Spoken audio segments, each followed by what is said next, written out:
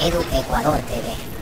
Noticia de última hora alto funcionario de la asamblea envuelto en caso de corrupción, así es amigos. Indignante una alta autoridad del gobierno en funciones confirmó que sí se dio el reparto de hospitales y que al presidente de la Asamblea, César Litardo, le tocó el hospital de Illes de Quevedo, que el martes pasado fue allanado por la policía y fiscalía, que investiga contratos irregulares. La Fiscalía y personal de la policía realizaron un allanamiento en el Hospital General de Illes de Quevedo por presuntas irregularidades en la contratación y compra de insumos. Dicho hospital estaría involucrado el presidente de la Asamblea, César Litardo. La acción judicial a las oficinas administrativas y financieras de la Casa de Salud se realizó la noche del martes pasado hasta la madrugada de hoy.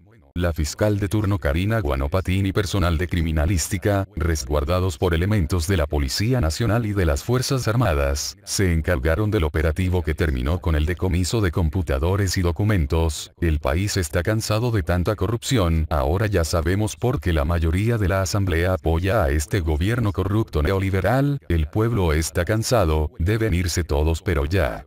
El pueblo quiere elecciones anticipadas, se están llevando los dólares fuera del país, ya basta, no lo olvides de compartir y suscribirte para estar atento a las últimas noticias. Gracias.